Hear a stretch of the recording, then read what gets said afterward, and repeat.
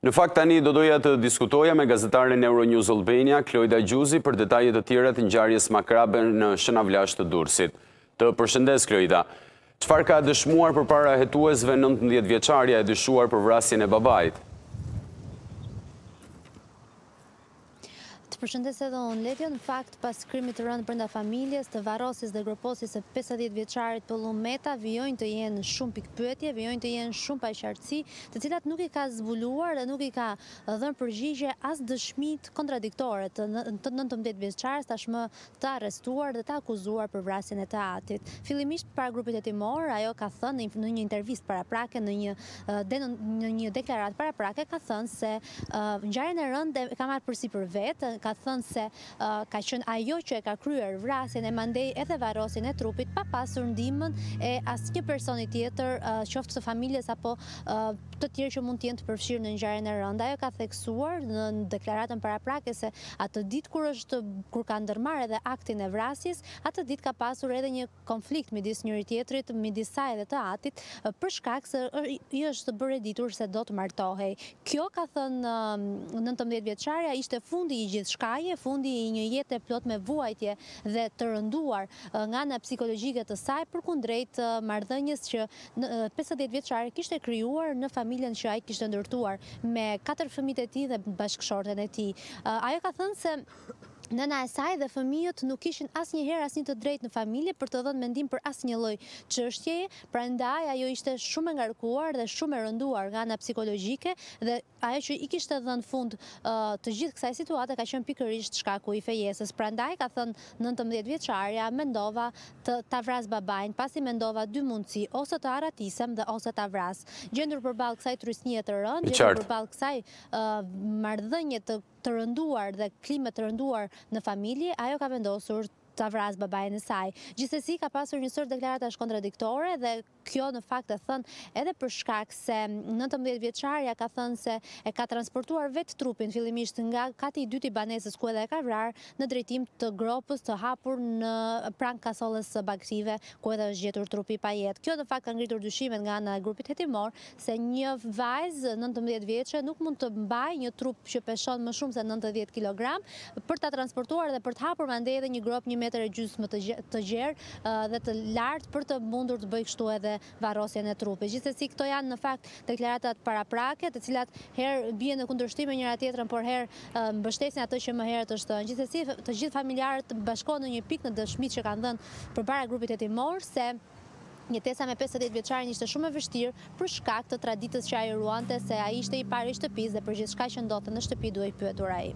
Nëse ke mundur të të diskutosh me hetuesit gjatë kohës që ato merrnin prova, a kanë dyshime apo kanë indicie apo apo prova që implikojnë edhe familjarët e tjerë në këtë krim, pasi siç dihet Zotëria i ndjeri ka dhjetë ditë i cili kishte humbur gjurmët, pra përgjatë këtyre dhjetë ditëve, cila ka qenë dinamika le të themi në në në në familjen e të ndjerit. Ë qëparë Sara më më më tregoi gazetarja jonë që ka ndjekur po po si si juve ngjarjen më tregoi që makina është transportuar në vendin ku është gjetur nga një person mashkull i paidentifikuar akoma, i cili dyshohet se mund të jetë njëri prej vëllezërve. Pra, cilat janë indiciet apo provat që kanë hetuesit për të përfshirë, le të themi, edhe edhe familjarë të tjerë apo persona të jashtëm të të familjes, që mund të ketë marrë pjesë në këtë krim?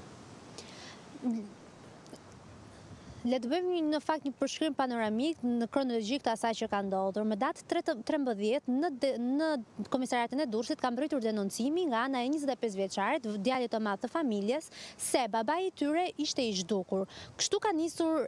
hetimet dhe dinamika e të gjithë ngjarjes. Pas marrjes së këtij denoncimi, policia ka nisur ka nisur hetimet për të bërë të mundur lokalizimin e pesëdhjetë vjeçarit. Pasi janë kqyrur celularët apo telefonat e personave të tjerë të familjes, është konstatuar se asnjëri prej familjarëve nuk kishte kryer qoftë edhe një telefonatë me pesëdhjetë vjeçarin. Duke bërë kështu, duke ngritur kështu dyshimet nga ana e grupit hetimor se si ka mundësi që Prej ditësh tashmë, ky baba është i humbur, ata nuk kanë tentuar asnjëherë të lidhen me telefon me të. Pas ngritjes së kësaj të këtij dyshimi,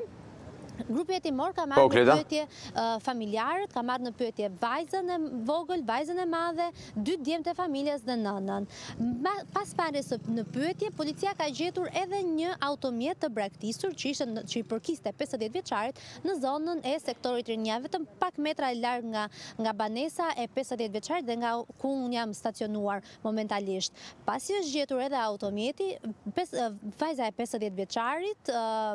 nëntëmbëdhjetë vjeçarja Hygerta Meta, ka thënë dhe ka pranuar se e ka vrarë babain, ka deklaruar se trupi i tij ishte i groposur pranë kasolles së bagëtive dhe më pas është bërë nxjerrja e trupit nga ana e grupit hetimor. Gjithsesi, ajo që kam mundur të mësoj nga diskutime me fqinjët, dy ditë më parë, nëntëmbëdhjetë vjeçarja është parë duke përdorur transportin urban dhe ka qenë mjaft e qetë në momentin kur është parë prej fqinjëve të saj, nuk ka pasur një dukje që të mund të linte të kuptonte që ishte në një gjendje të rënduar psikologjike apo se dy ditë më parë mund të kishte vrarë të atin e saj. Prandaj në fakt grupi hetimor ka dyshime se këtu nuk kemi të bëjmë me vetëm një person të vetëm që mund të jetë i përfshirë në këtë ngjarje të rëndë. Sigurisht, referuar edhe dëshmisë së nëntëmbëdhjetë vjeçares, ajo ka thënë se në momentin kur ka vrarë të atin dhe ka qëlluar me armë, nëna e saj nuk ishte në shtëpi, ajo ishte në arë. Por policia ka dyshime se në rast se ka qënë në arë, a nuk e ka ditur ajo, nuk ka shkuar ajo në banesë nuk e ka parë ajo, apo dëgjuar të shtënën e armës në momentin kur Ngjarja e rëndë ka ndodhur, pra ka një sërë informacionesh apo indicies që policia ka ngritur dhe dyshimet se kemi persona të tjerë të përfshirë. Mund të jetë, mund të jetë 25 vjeçari, mund të jetë vetë nëna që mund të ketë informacion, ndoshta jo bashkëpunëtore në krim, por e ka ditur të gjithë ngjarjen. Gjithsesi, është e vështirë për të vendosur gishtin në një prej tyre për sa kohë që policia ende vijon hetimet, policia ende nuk e ka të sigurt se kush mund të jetë bashkëpunëtori dhe sigurisht që këtë do të mbetet për t'u saktësuar dhe për t'u verifikuar Në vijim, në përfundim të hetimeve që policia po vijon prej kohësh tashmë. Këtu është e vështirë në fakt edhe për të qëndruar, sepse në momentin që policia u largua, familjarët shumë të revoltuar kërkuan zhvendosjen e mediave për shkak normalisht edhe të gjëndjes së rënduar psikologjike që ndodhen dhe më se të kuptueshme për sa kohë që kemi të bëjmë me këtë ngjarje disi delikate. Gjithsesi, ajo që është pak për e sigurt është pikërisht se kemi një 19 vjeçare që ka pranuar krimin, por që ka dyshime shumë të mëdha se nuk ka qenë e vetme në këtë krim të rëndë brenda familjes. Të falenderoj Kloida për gjithë informacionet e përcjella.